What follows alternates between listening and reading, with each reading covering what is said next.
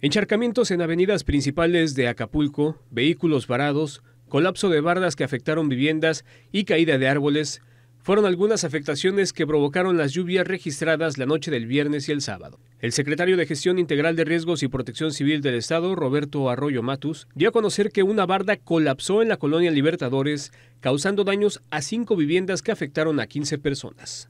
Pues se registraron lluvias fuertes en las regiones de la costa grande, chica, en Acapulco, también en la zona centro, la montaña y sierra.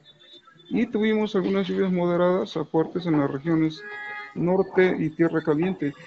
Se presentaron algunos daños, son afortunadamente menores. También se registró la crecida de descubrimientos naturales en calles y avenidas del puerto de Acapulco, ocasionando algunos encharcamientos a nivel de banqueta y también arrastre de material sólido.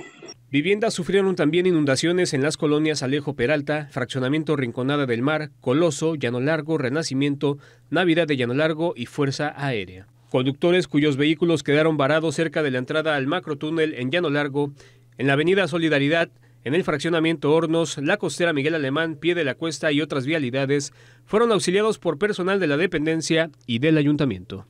También hubo reportes de afectaciones en el municipio de Chilpancingo, donde el Centro Regional de Protección Civil informó sobre la caída de una piedra que obstruyó la vialidad sobre la carretera libre Chilpancingo a Cahuizotla. En el caso del municipio de Juchitán, se tuvo algunos daños, fueron, te repito, afortunadamente menores. Se registró la caída de rocas que afectaron un carril de la carretera federal Acapulco Pinotepa Nacional, cerca de Carrizalillo. En el municipio de Azoyú se reportó sobre la carretera Acapulco Pinotepa Nacional un deslave de tierra y lodo, así como la caída de un árbol que obstruyó un carril. Con información de Teresa Lubiano, RTG Noticias.